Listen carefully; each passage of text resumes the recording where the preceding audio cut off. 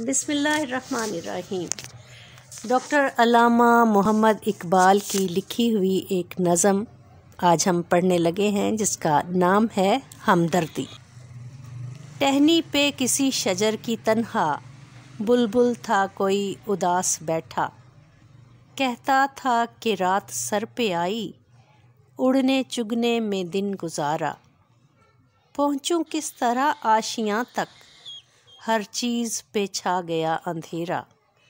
सुनकर बुलबुल की आहुजारी जुगनू कोई पास ही से बोला, हाजिर हूँ मैं मदद को दिलो जान से।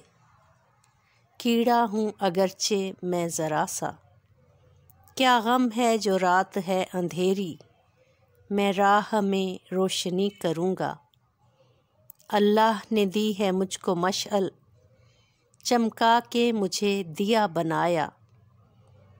हैं लोग वही जहाँ में अच्छे, आते हैं जो काम दूसरों के।